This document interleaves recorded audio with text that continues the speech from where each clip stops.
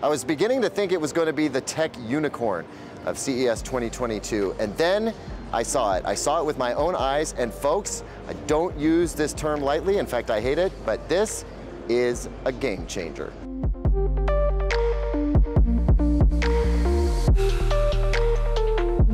Welcome back, everyone. I'm Caleb Denison, and I am, of course, talking about QD Display, or QD OLED.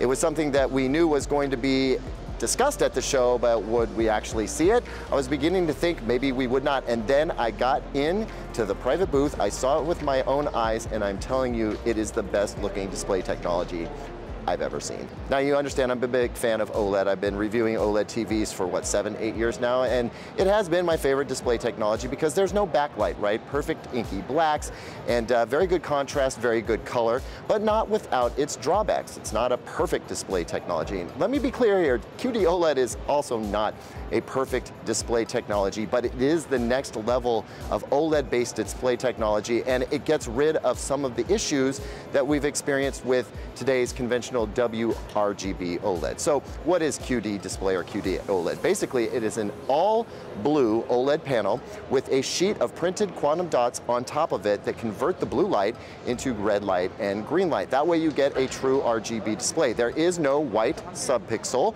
and there is no need for a color filter. And what that means is much more brightness. When you slap a color filter on top of uh, a white light to carve blue, green, or red out of it, you sap it of its energy, you sap it of its luminance. It's not as bright. It's putting out that light, but then you take it away, just trying to get the right colors out of it. With a QD display or QD OLED, you don't have that issue. So we're talking about truly bright reds, greens, and blues, and it is a magical looking thing. First of all, white is pure white. It is not the sort of green tinged white that we've seen with WRGB OLEDs. Now that's not something that I complain about a lot because when you're just watching uh, a, a WRGB OLED TV on its own, you're not aware that the whites have a greenish hint to them unless you stack it right up against another TV and then you see that there's bluish whites and then there's greenish whites with OLED, uh, but there's really never a pure white light coming from a TV, and QD display does that exceptionally well. It's brighter, and it's not going to have some of the issues with burn-in that we've seen in the past. Now, let me be clear, it is still possible for there to be image retention or burn-in.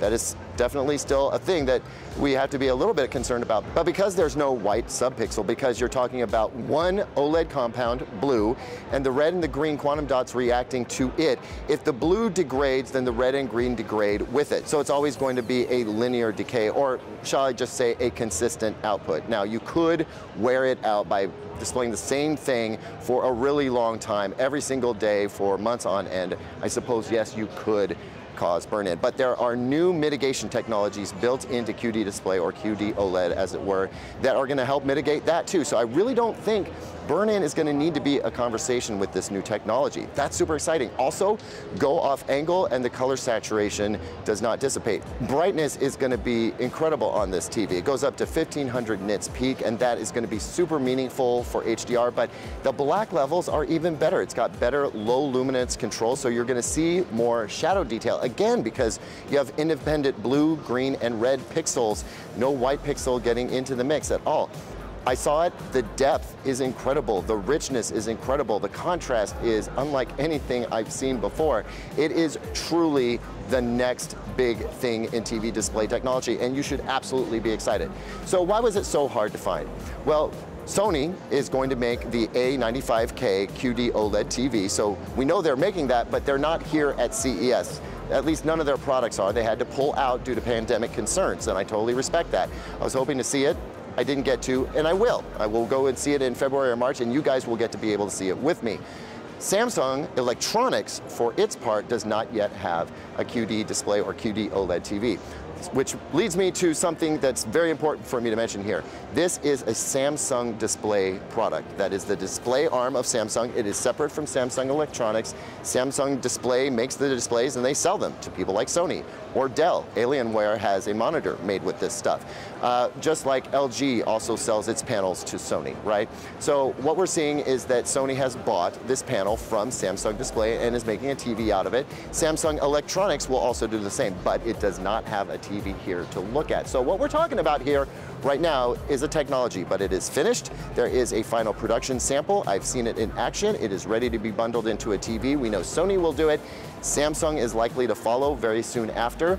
Uh, I think we'll see Sony's TV as early as late spring this year. So we're not going to have to wait until the end of the year to get it. We're going to see it very soon. And I will bring you the Sony version of this display technology as soon as February. So keep it right here at Digital Trends because you are not going to want to miss it.